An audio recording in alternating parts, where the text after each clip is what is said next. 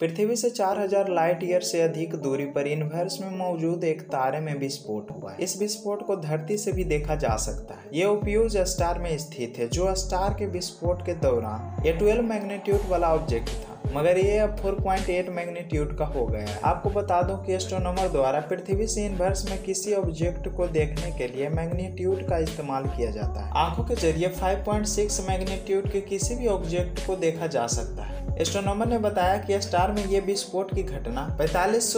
light year दूर हो इसका मतलब है कि यह घटना पैतालीस साल पहले हो चुकी